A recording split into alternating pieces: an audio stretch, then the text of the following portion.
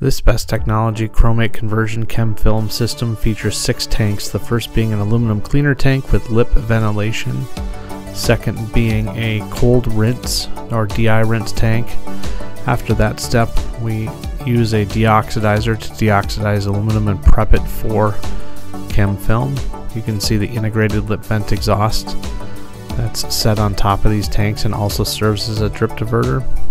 After deox, we rinse once again and then we do the chromate conversion chem film type 1 in this tank here. The entire system is touch panel controlled with push buttons on each tank to allow for resets of cycle timers in each individual tank per the process step requirements.